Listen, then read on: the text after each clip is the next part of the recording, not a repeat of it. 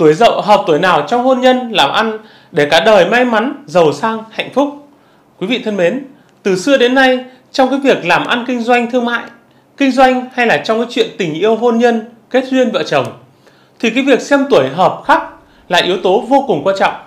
Cái việc xem tuổi làm ăn sẽ giúp quý vị chọn được những cái đối tác chiến lược, những người hùn hạp mà có tuổi hợp làm ăn với mình. Khi mà quý vị lựa chọn được những người có tuổi hợp làm ăn với mình thì sẽ giúp cho cái việc làm ăn, kinh doanh, thương mại nó được hanh thông thuận lợi, suôn sẻ và vượt qua được mọi cái khó khăn, mọi cái gian khổ, mọi cái trắc trở trong cuộc sống. Ngược lại, nếu mà phối hợp với những người mà không hợp tuổi làm ăn sẽ khiến cho cái việc làm ăn nó gặp khó khăn, vất vả, à, không thu được những cái hiệu quả như mong muốn.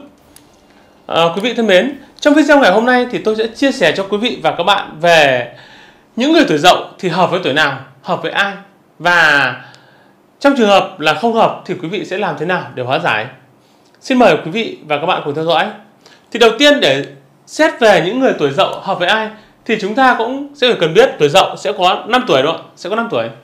À, Ất dậu sinh năm 1945, Đinh dậu sinh năm 1957, Kỷ dậu sinh năm 1969, Tân dậu sinh năm 1981 và Quý dậu là sinh năm 1993. Đó, như vậy là tuổi dậu chúng ta sẽ có 5 tuổi. À, còn 2 tuổi Ất dậu Ất dậu là 2005 và Đinh dậu là một 2017 ấy. thì hai tuổi đấy vẫn còn nhỏ thì cũng có thể là ghép luôn vào với cái cái tuổi là 1945 và và 1957 nhé. Đó. Như vậy là gì? Những người tuổi dậu thì sẽ hợp với ai? Hợp với tuổi nào? Kết hợp với tuổi nào sẽ được giàu sang phú quý? Kết hợp với tuổi nào thì sẽ gì phạm phải những đại kỵ mà chúng ta cần phải kiên kỵ để có được cái cuộc sống à, làm ăn nó suôn sẻ thuận lợi đúng không à, đầu tiên chúng ta cùng xét qua về những người tuổi dậu về tính cách. Thì những người tuổi dậu thường có cái ngoại hình đẹp dáng vẻ oai phong và không bao giờ luộn thuộm. Họ là những người khá hấp dẫn nhất là nam giới. Họ rất quan tâm đến cái hình thức.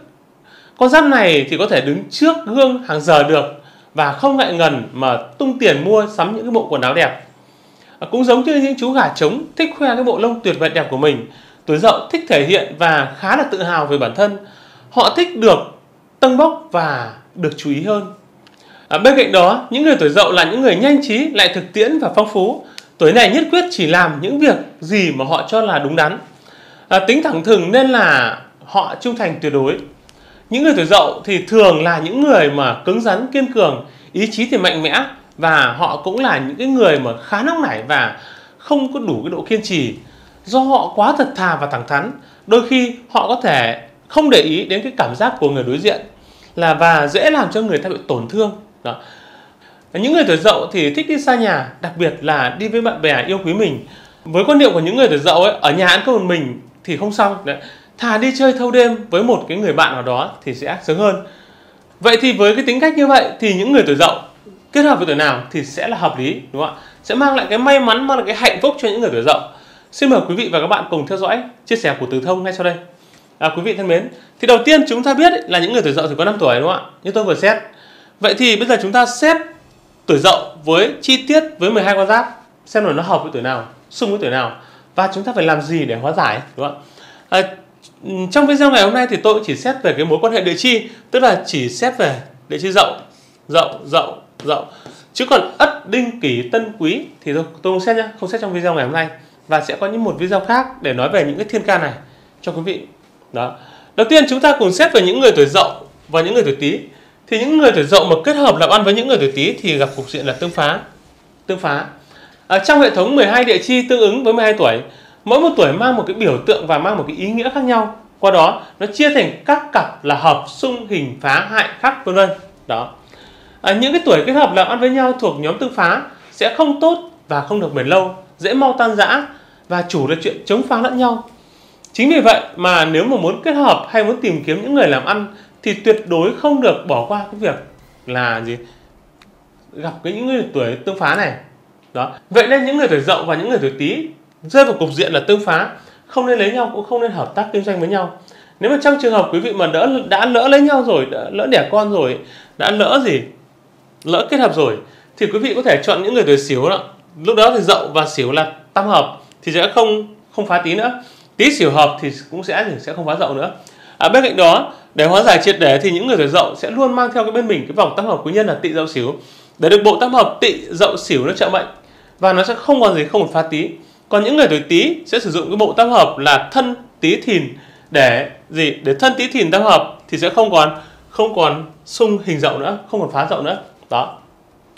Cái vòng tam hợp quý nhân là một cái pháp khí phong thủy được sử dụng cái bộ tam hợp quý nhân được khắc lên ba viên đá mã não đó. Và được kết hợp với cái loại gỗ quý như là gỗ xưa hay là gỗ từ đàn. Đó. Và đây là những cái loại gỗ mà gỗ quý được dùng làm các vật phẩm phong thủy để trừ tà hóa sát cũng như là chiêu tài. Đấy, giúp mang lại cái vượng khí cho gia chủ. Bên cạnh đó cái vòng tam hợp quý nhân sử dụng ba cái linh vật. Ba linh vật theo tuổi tam hợp. Nó sẽ giúp quý vị chiêu mời quý nhân hóa giải những xung khắc những thị phi đặc biệt là với những cặp vợ chồng xung tuổi xung tuổi khác tuổi ấy, hoặc là những vợ chồng mà hay xảy ra chuyện cãi vã cãi vã trong công chuyện làm ăn cũng như trong công chuyện kinh doanh nó ảnh hưởng trực tiếp đến cái hạnh phúc gia đình. Bên cạnh đó khi mà trong công việc ấy, thì nó cũng sẽ có những cái xung khắc thị phi. Thì cái vòng tác hợp quý nhân này cũng sẽ chiêu mời quý nhân để hóa giải những xung khắc những thị phi đó. Và khi có quý nhân luôn ở bên cạnh mình thì mọi việc nó sẽ được hanh thông thuận lợi hơn. Lúc khó khăn trong công việc thì quý nhân cũng tương trợ giúp đỡ ngay lập tức khiến cho mọi việc nó được suôn sẻ và hanh thông. Vậy nên quý vị hãy liên hệ trực tiếp với số điện thoại 0989 34 9119 để thỉnh cái vòng tam hợp quý nhân nhé đó như vậy là những người tuổi dậu và những người tuổi tý là không hợp nhau nhé không hợp nhau.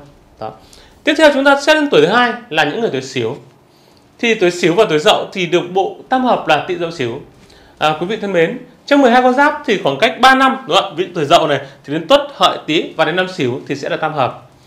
Những con giáp thuộc cái tam hợp thì khi nằm trong bộ tam hợp này thì làm ăn vợ chồng hoặc là kết hợp sinh con đẻ cái thường là suôn sẻ hanh thông và là những người có cùng mục tiêu, cùng lý tưởng, họ sẽ giúp đỡ lẫn nhau, dễ dàng đi tới cái thành công hơn. Vậy nên những người tuổi xỉu là một trong con giáp là hợp với những người tuổi Dậu. Hợp với những người tuổi Dậu nhé. Đó, Dậu xỉu là hợp. Đó. Hơn nữa xỉu thổ lại sinh cho sinh cho Dậu Kim lại càng tuyệt vời nữa. À, và những người tuổi xỉu và những người tuổi Dậu thì chỉ được bán tam hợp thôi.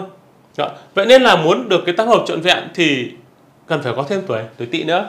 Vì thế mà những người tuổi Sửu ấy hãy luôn mang bên mình một cái vòng tam hợp quý nhân là Tỵ Dậu Sửu để được trợ vận hộ thân giúp mang lại cái may mắn mang lại cái tài lộc cho mình trong câu chuyện hợp tác kinh doanh làm ăn cũng như là giúp hòa hợp các mối quan hệ trong cái chuyện của tình yêu hôn nhân và quan hệ vợ chồng giúp cho các cặp vợ chồng luôn vui vẻ và, và hạnh phúc.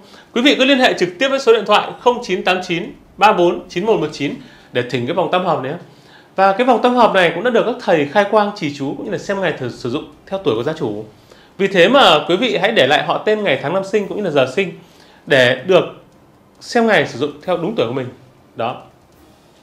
Tiếp theo chúng ta xét đến tuổi dậu và tuổi dần nữa. Dậu và dần nó rơi vào đất tứ tuyệt à, cái tứ tuyệt ấy, nó là bốn cặp tuổi trong 12 con giáp. Nó gặp nhau nó sẽ kìm hãm cái sự phát triển của nhau. Phát kìm hãm cái sự phát triển của đối phương nữa. Cuộc sống sẽ gặp nhiều về khó khăn bệnh tật. Công việc thì khó có thể có thể hanh thông đúng không? tài vận thì kém phát triển tình duyên thì lận đận thậm chí là gì? Có thể khắc đến nguy hiểm tính mạng. Vì tứ tuyệt thường mang đến cái vận xui nên là các cặp tuổi này thì không nên không nên kết hợp với nhau không nên trở thành vợ thành chồng không nên trở thành đối tác cũng không nên trở thành con cái. Đó. Tại vì cái, khi mà kết hợp với nhau thì nó là cái khí xấu. Vì thế mà người ta cũng kiêng.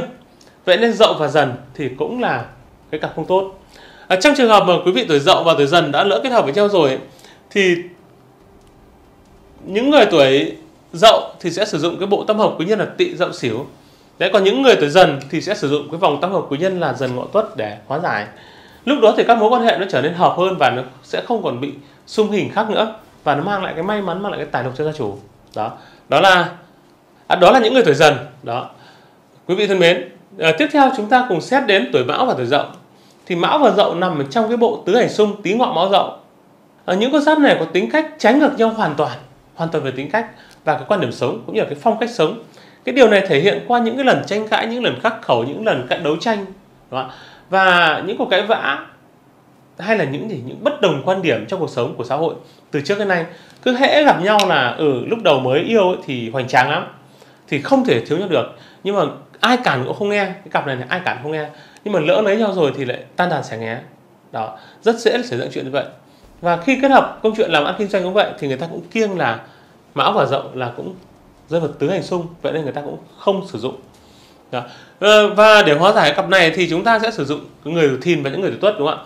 Khi mà gì? Dậu và thìn là hợp thì sẽ không không xung mão nữa. Và mão mà tuất là hợp thì sẽ không xung dậu nữa. Bên cạnh đó thì uh, quý vị cũng thể sử dụng một cái vòng tam hợp quý nhân là hợi mão mùi. Với những người tuổi mão sẽ sử dụng cái vòng tam hợp quý nhân là hợi mão mùi để trợ vận hộ thân mang lại cái may mắn và hóa giải những xung khắc thị phi giữa, giữa tuổi mão và tuổi dậu. Đó. Đó là con giáp thứ thứ tư. Tiếp theo con giáp thứ năm là những người tuổi thìn. Những người tuổi thìn ấy những người tuổi thìn này được cục diện là thìn và và dậu là lục hợp. Thìn và dậu lục hợp cái cặp lục hợp đó chỉ là sáu các cặp con giáp nhị hợp với nhau tạo thành một lục hợp đúng không ạ? Hay hiểu một cách đơn giản là có 6 cặp tuổi con giáp hợp với nhau sinh với nhau được coi là cái mối quan hệ tốt đẹp nhất. Đấy, các con giáp mà thuộc cái cục diện lục hợp này thì nếu mà kết hợp thành đôi hoặc là sinh con hoặc là gì kết hợp trong cái mối quan hệ làm ăn kinh doanh thì cũng sẽ rất là có lợi được may mắn hạnh phúc và giàu có. Vậy đây là những người tuổi thìn là một trong con giáp mà hợp với những người tuổi dậu và để tăng cường cái vận may của mình lên thì những người tuổi thìn hãy luôn nhớ là mang theo bên mình một cái vòng tam hợp quý nhân là thân tí thìn nhé để trợ mệnh hộ thân giúp mang lại cái may mắn mang lại cái tài lộc cho mình khi kết hợp làm ăn hoặc là sinh con hoặc là uh, kết hợp hôn nhân với những người tuổi dậu Đó. tiếp theo thứ sáu là những người tuổi tỵ đúng không? những người tuổi tỵ à, những người tuổi tỵ thì được cục diện tam hợp là tỵ dậu xỉu là tam hợp đúng không? À, quý vị thân mến thì cũng giống như những người tuổi xỉu ấy thì những người tuổi tỵ thì được tam hợp cục giúp đỡ Đấy, khi mà được nằm trong cái cục diện tam hợp này thì các mối quan hệ làm ăn vợ chồng kinh doanh thì nó sẽ được suôn sẻ hanh thông và họ sẽ có cùng mục tiêu cùng lý tưởng và sẽ giúp đỡ lẫn nhau dễ dàng tiến đến cái thành công hơn Đó. vậy nên là những người tuổi dậu và những người tuổi tỵ thì sẽ cực kỳ hợp Đấy. À, vì thế trong thời gian này thì những người tuổi tỵ và tuổi dậu thì mới được cái cục diện là bán tam hợp thôi còn để được đầy đủ cái bộ tam hợp tỵ dậu xỉu thì những người tuổi tuổi tuổi tỵ ấy hãy luôn sử dụng bên mình một cái vòng tam hợp quý nhân là tỵ dậu xỉu. Để được quý nhân luôn ở bên cạnh tương trợ giúp đỡ, giúp mình gặp được những điều tốt lành hơn và may mắn hơn trong công việc.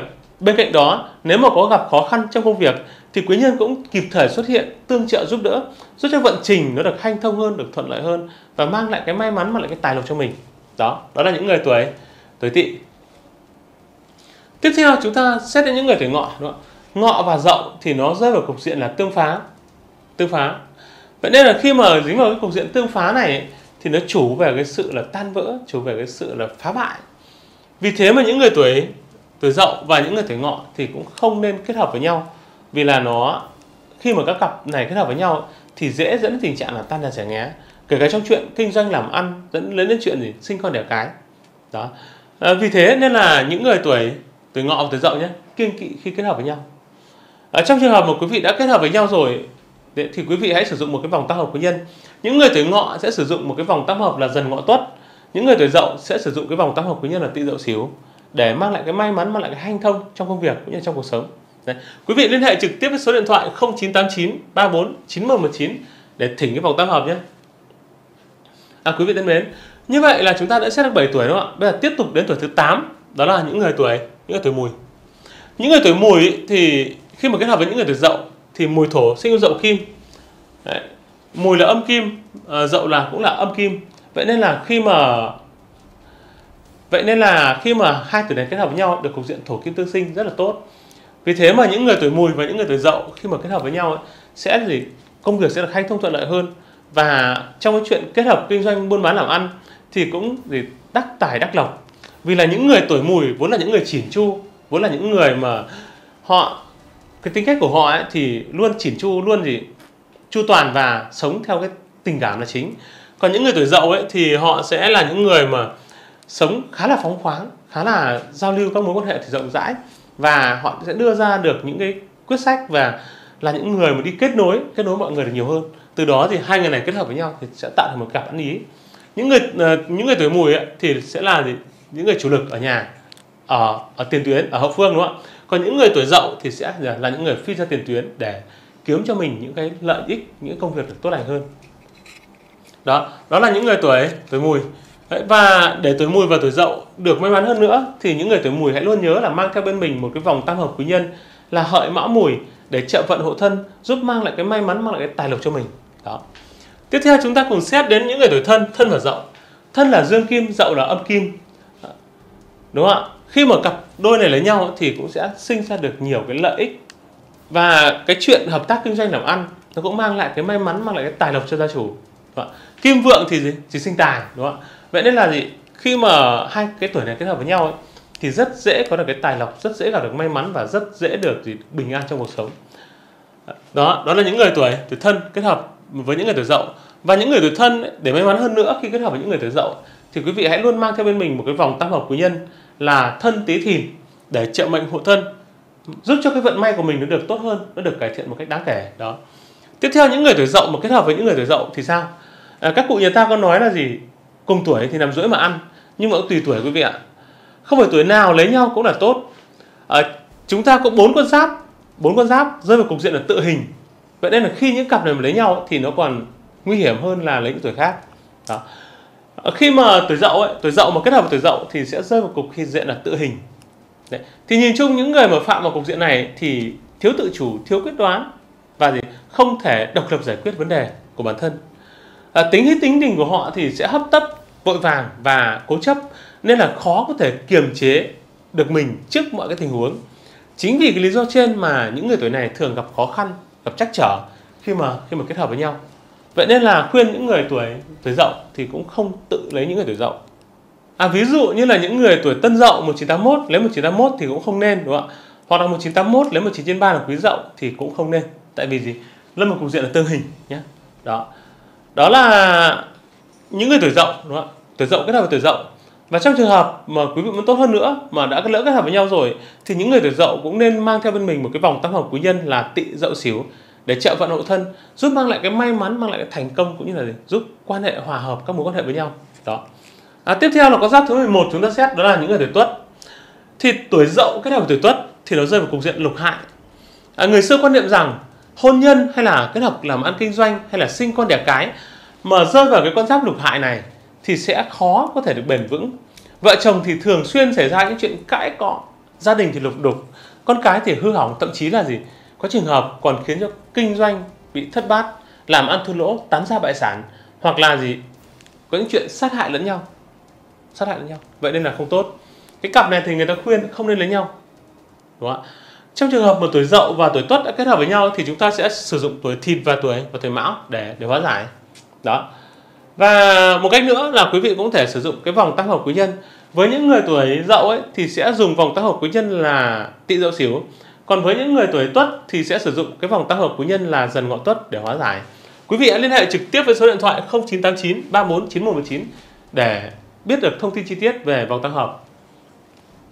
Và tuổi cuối cùng ta xét đó là những người tuổi dậu kết hợp với những người tuổi hợi đúng không ạ? Dậu và hợi kết hợp nhau tốt hay không? À, quý vị biết ấy, những người tuổi hợi hợi và dậu dậu kim hợi thủy đúng không ạ? Thì khi kết hợp làm ăn với những người tuổi hợi thì sẽ được cục diện là kim thủy tương sinh kết hợp với làm vợ làm chồng thì cũng được như vậy. Được được cục diện là gì? Tương sinh với nhau rất là tốt. Vì vậy mà những người tuổi hợi cũng là một trong những cái lựa chọn tốt cho những người tuổi những người tuổi dậu khi mà muốn kết hôn hoặc là muốn hợp tác kinh doanh làm ăn hoặc là muốn sinh con đẻ cái vào những tuổi này. Đó. Đó là 12 tuổi mà khi kết hợp với những người tuổi dậu tốt xấu ra sao? Các hùng thế nào? Đấy. Thì tổng quát lại ấy, thì những người tuổi dậu cần phải đấy, kết hợp tốt nhất là những người tuổi sau này. Tuổi dậu đầu tiên kết hợp kết hợp tốt nhất thì chúng ta phải có tuổi xỉu đúng không ạ? Tuổi xỉu. Thứ hai là tuổi gì? Thứ hai là tuổi thìn thìn. Thứ ba là tuổi tỵ. Đó. đây là ba tuổi kết hợp làm ăn tốt nhất của những người tuổi dậu. Và những con giáp mà xấu nhất với những người tuổi dậu đó là gì? Tuổi mão. Hai tuổi dần. Ba là tuổi ngọ. Và bốn là tuổi dậu. Năm là tuổi tuổi tuất đây là năm con giáp cực xấu không nên kết hợp. À, trong trường hợp mà quý vị trong ba ba tuổi là tuổi tuổi xíu này tuổi thìn và tuổi tỵ ít quá thì quý vị cũng thể chọn thêm một tuổi nữa. Đó là chọn thêm tuổi mùi đúng không ạ? Một là thứ ba này bốn này. Chọn thêm những người tuổi mùi này tuổi thân này và những người tuổi hợi. Đó.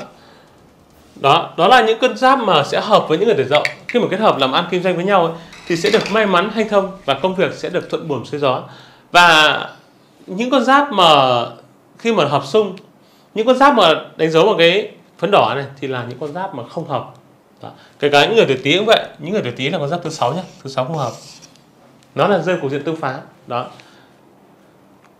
Thưa quý vị nhìn ra ấy, thì cái chuyện chọn tuổi nó có vẻ là gì? Nó chỉ là một sự ngẫu nhiên.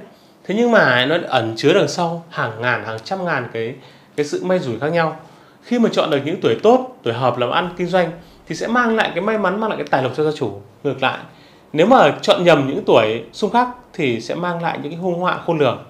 Vậy nên, cái việc xem tuổi là một cái điều hết sức quan trọng khi mà chúng ta tiến hành công việc hôn nhân, kết hôn, cũng như là gì? Việc chọn tuổi động thổ làm nhà cũng vậy, thì nó cũng cực kỳ quan trọng. Vì thế mà quý vị không chọn thì thôi, nhưng mà đã chọn thì hãy chọn cẩn thận để tránh phạm phải những cái cái điều số khác này. Cảm ơn quý vị và các bạn đã quan tâm theo dõi. Quý vị đừng quên đăng ký kênh và nhấn vào chuông thông báo để ủng hộ cho chương trình. Còn bây giờ xin chào và hẹn gặp lại quý vị trong những video tiếp theo. À, xin cảm ơn.